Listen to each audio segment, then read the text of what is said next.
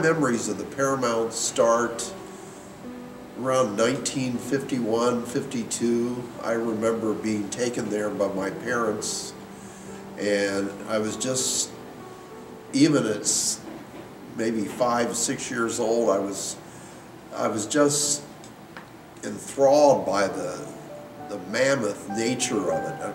I, I used to call it the Paramountain, and would go in. You're greeted by this wonderful elderly lady with white hair. She would take your ticket, go get some popcorn, and and go get seated and see a movie on that giant screen. And it's, it's it was just uh, it was fit for a king, and you you really felt like royalty when you went in there. And I always said the Paramount was like an oasis in the desert because Middletown had shopping days, uh, Monday night and Friday night. And it was at kind of the far end of Broad Street next to the YMCA. And I always said it was like an oasis in the desert because you would see that orange neon, uh, the large vertical sign that said Paramount, and on either side of the marquee, there was a flashing P. And uh, with all that beautiful neon, it would just go P, P, P, P, P. You could see that from for blocks. And to me, that was just another excuse to get to go in there. And uh, I was very sad when they tore the, the Paramount down because they had no real reason to tear it down. They had just uh, given it a fresh coat of paint and so had some kind of hope that they were going to keep it. But there was an article in the paper about three Sundays before they shut it down that the Paramount is closing. And I always said, and I probably stole this line from somebody else, but they paved paradise to put up a parking lot. and they never even used the parking lot. Now, the Paramount opened, I guess, I'm, I'm proud to say I didn't see it open, but uh, I did get to see it close, and it, it was truly a sad day. They showed, uh, it was kind of ironic, they showed Bye Bye Birdie, and uh, I remember the marquee, it said, Go, go, CC, Bye Bye Birdie. And uh, so I always associated that with Bye Bye Paramount. And it was, it was truly a sad day. I also have memories of the Strand Theater. The Strand at the time I remember it, was a second run theater. And they would usually show movies like, oh, a month after they opened first run at the Paramount. And it was a, it was a, it was a good sized theater. At one time it was a, um, a vaudeville house. Had the largest stage in Middletown. In fact, I they even had circus acts on the stage. And uh, it was a, it was, I can remember it from about 1951 till it closed in November of 58. And it was, it was one of my favorite theaters. Uh, the last movie I saw there was uh, George Gobel was big then. Uh, it was in 1958. It was uh, I Married a Woman with George Gobel and uh, Diana Dors, and The Fiend Who Walked the West. Uh, had Hugh O'Brian, which was famous, who was famous for uh, Wyatt Earp. And it closed, it was either October or November of 58. Also, remember the Colonial, uh, the Colonial I guess when I first remember the Colonial, it was built, it was remodeled, uh, had just been remodeled shortly. Uh, It formerly was the Sorg Theater. They had a fire uh, around 1947. 1950 or 51, they reopened it as the Colonial. They did a, did some remodeling. And um, I saw s- first-run movies such as Gentlemen Prefer Blondes uh, opened there. That was in the early 50s. Uh, The Colonial was the first theater to have uh, widescreen, CinemaScope it's called. And it had the first motion picture uh, that was widescreen was called The Robe. And I remember going with my grandmother to see that. And I'm glad to see the efforts being made to restore it, uh, even beyond what it was when it was the Colonial. So I guess I'm one of Middletown's number one movie fans. I go back, I go back a few years. I'm not gonna tell you how many, but uh, I go back a few years. Hello, yeah, my name's Bob Melloh. I've uh, been here to talk a little about the Paramount Colonial Theaters in Middletown. My dad uh, was the head projectionist at Colonial Theater for over 40 years. I uh, grew up in there, saw my first movie at five years old, and from the projection booth, and about every weekend I'd go see the movies because, you know, get in free, you might as well go see them. And I started learning how to uh, splice movies, the films, uh, together when I was about six years old. And somewhere between six and eight, I can say I started learning how to run the projectors, the, uh, the carbon arc projectors, which was, wasn't an easy job, but it was fun. I remember doing that, and then as I got older, I, I got to usher.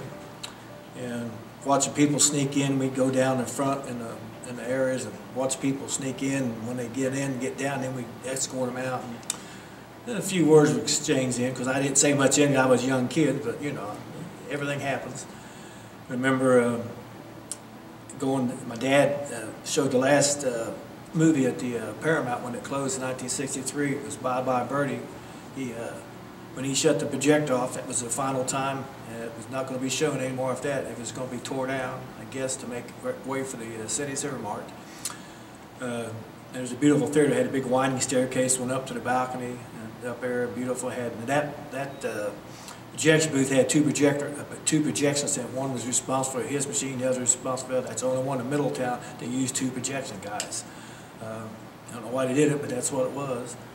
Um, but like I said, it's a shame they tore that down, such a beautiful theater. I saw, I don't know what year old I was, but I saw, uh, Mickey Mouse Club there they had, had a beautiful organ come up out of the stage out of the floor and they played music on it, and it was really nice. Uh, had a popcorn stand out, I mean, uh, the ticket stand out in the middle, and you walked in, you got your ticket, and you just walked in, beautiful place. And I said, but my dad's main job was the Colonial Theater. He would go around to different theaters in Middletown, uh, Family, to Rex, to Gordon, Dixie Cruising, drive in down here. He'd go and train new people how to run the projectors and everything, and it was, you know, pretty good experience. Uh, and then also, in the, and most people don't know, in the uh, Colonial, which is the Sorg Opera House, there's a second balcony, which is uh, up in where the projection booth is at. Most people have never seen it because you have a drop ceiling, you can't see it. Now they're taking the drop ceiling out, so it'll be open up and people will be able to see it and use it again. But it's one of the hidden facts that most people never saw, know, unless you knew something about it. Um, I remember we had a Beatles movie there, one of the first ones, I don't remember the name of it, but sixty-four, it was, uh, the first Beatle movie they made I had look out, set up the, uh, projection booth, to watch the movie, you couldn't hear it because the girls were screaming so loud at the movie, which I thought was stupid, it's just a movie, you know, they can't hear you. At least up in the projection you had a sound up there, you could kind of listen a little bit of sound, but I never forget that. I was sitting there thinking, my dad said the same thing, crazy people out there yelling a movie, you know, you can't see them. But that's just what happened. Um, I just hope they get, get the money going, get the Colonial back, and like I said, I wish they would have kept the Paramount too, because the Paramount was a beautiful theater. I mean, that's, I hated to see that tore that down. I wish I took some pictures. I haven't got very many pictures of that, but, uh, you don't, at the time, stuff happens that you don't ever think about, so. But that's basically all I can tell you is, you know, I just enjoyed it. Might have said, my dad, if it hadn't been my dad, I wouldn't saw all this stuff. I got to see inside things that nobody else ever got to see.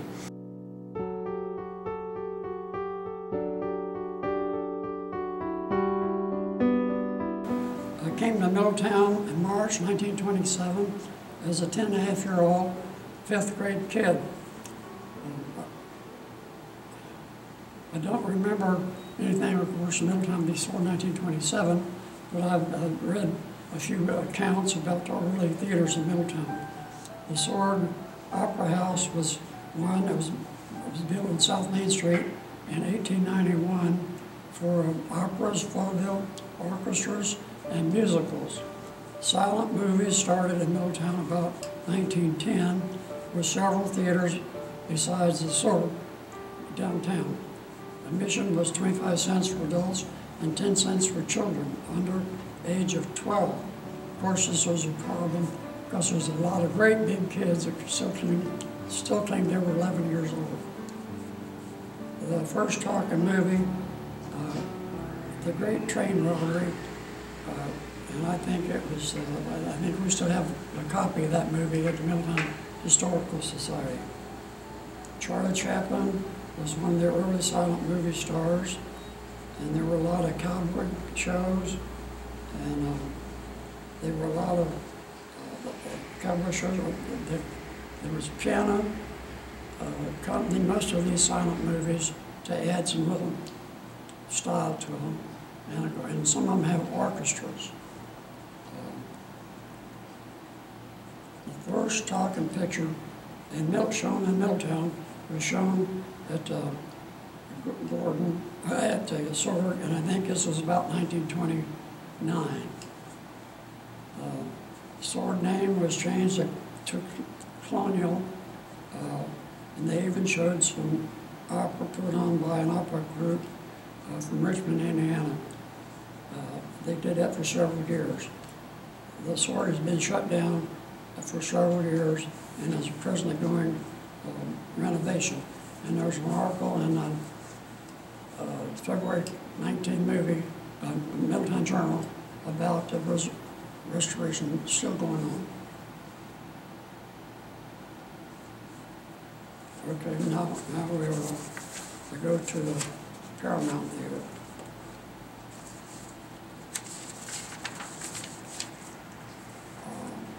Paramount was built about 1932 on North Broadway. It was across the street from number one uh, Middletown Fire Station.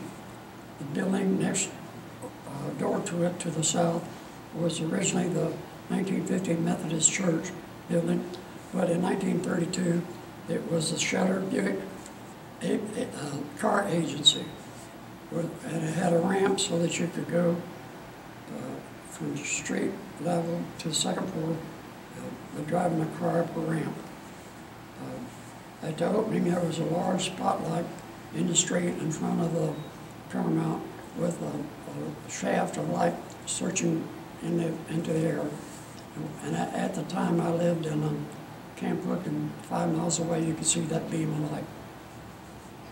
Uh, It was a beautiful theater inside and out. It had um, matching staircases on each side to go up to the uh, uh, balcony. Uh, It would seat about a thousand people, I I don't know for sure, but it was a great big one, and it- I would, I would judge about a thousand. And it had a large organ in the floor, which could be raised up to play.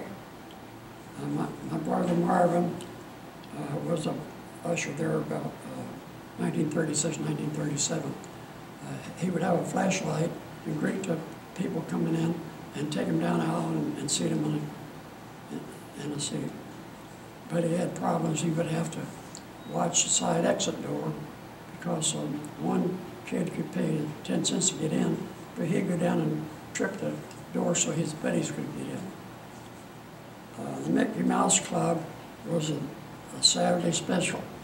Um, The Ritter Girls were the main uh, dancers and singers. Uh, I think um, it closed um, sometime around 19 1964.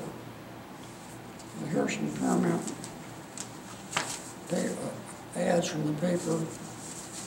Here's Kevin Hepburn and Little Women. Fred MacMurray, Carolyn Byrne, Princess Comes Across. Uh, Clark- Clark Gable and Loretta Young, Call of the Wild. Ever Horn, Ever, Ever Horton Heaton, Horton uh, His Night Out. Uh, This was at the Paramount. Claudette Colbert, She Married Her Boss. And Janet Gaynor, The Farmer Takes a Wife. Now, we go to the, another movie in Middletown.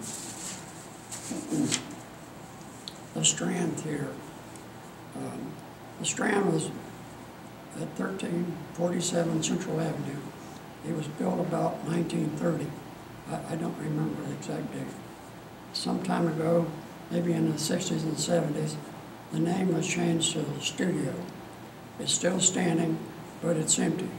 No movies have been shown for twenty-five or thirty years. It had a large, maybe, maybe smaller than a Paramount because it had a balcony, but I think it could seat eight hundred or nine hundred people in that theater. And the Kyle Shoe Store was out in front, right off the sidewalk. So it's out of business, been out of business for a number of years. The Rex Theater was on Central Avenue in the east wing of the Bundy Apartments. On Central, Avenue. The next door to the east was the Elite Confectionery and then the railroad tracks. It was a small theater. Wallace Beery was shown as an airplane story, and there was a lot of um, cowboy shows. The kids could get in for 10 cents and see a movie, a comedy, and uh, one, one of a serial that ran every week, and you'd would have to come back the next Saturday to find out if the hero really was killed when he, of course, fell off the cliff or was hit by a train. And that, this was, it was closed before 1957, I don't know just when. Now, the Gordon Theater, um, I remember, was on the north side of Central Avenue between Broadway and the Miami Canal. The canal was officially closed in September 29, but it still had some water in it for several years. Uh, John Ross store was on the corner of Broadway, and a jewelry store was at the corner up up by the canal. The Joy Shop and Worthworth Men's Shop were um, only two of several shops with the, um, with the Gordon Theater approximately in the middle of the block. Uh, Before was even, before she was even married Doug- to Douglas Boxwell, June sold tickets uh, at, at this show. Uh, That would have been about 1934 and 35. The Gordon Theater burned down in 1940. In the 30s, there were a lot of Fred Astaire and uh, Ginger Rogers uh, dance shows shown in their theater. So that's what I remember about the Milltown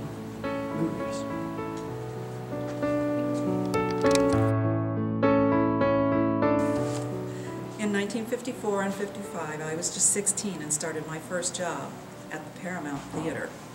I worked in the concession stand selling popcorn, soft drinks, and candy, and remember a local beat cop would drop by on his rounds. He'd usually enjoy an orange drink while chatting with me during the slow times. Walking past the sweeping staircase as I approached the concession stand, I was always impressed with the grandeur of the theater. The auditorium seemed immense to me at the time, and I enjoyed the benefit of seeing any movie free as a perk of the job.